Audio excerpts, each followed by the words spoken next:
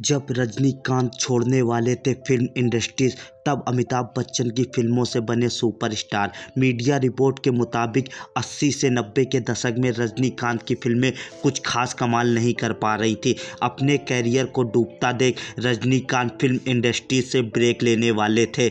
लेकिन उसी समय अमिताभ की फ़िल्म डॉन का रीमेक बिल्ला मूवी ऑफ़र हुई जिसने रजनीकांत के कैरियर को ऊँची उड़ान दी। फिर अमिताभ बच्चन की सुपरहिट फ़िल्म नमक हलाल का रीमेक कलाई करम से अच्छी परफॉर्मेंस से रजनीकांत की डिमांड बढ़ गई।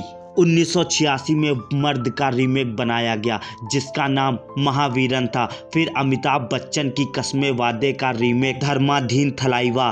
फिर लावारिस का रीमेक पनकरन दीवार का रीमेक थी और अमर अकबर एंथनी का रीमेक शंकर सिमोम में रजनीकांत ने अमिताभ जी की भूमिका निभाई। रजनीकांत ने अपनी एक्टिंग और स्टाइल के ज़रिए खूब नाम कमाया। वैसे इन दोनों में आपको कौन सा स्टार पसंद है, हमें कमेंट में ज़रूर बताएँ।